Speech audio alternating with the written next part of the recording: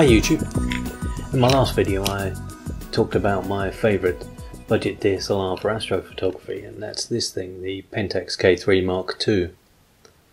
And I mentioned the AstroTracer function and a couple of people commented asking for more information about AstroTracer And I went out and I did some test shots last night and uh, here it is. Here's the Pentax K3 Mark II and here's how I use the Astro Tracer.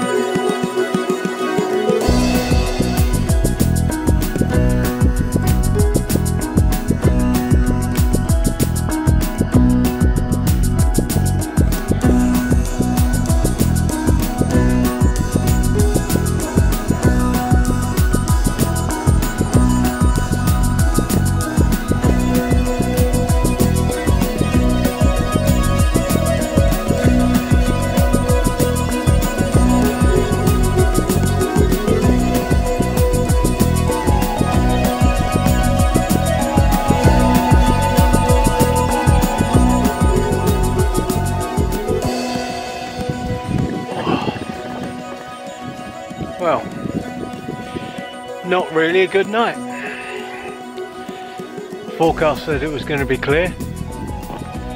Fat chance. Clouds.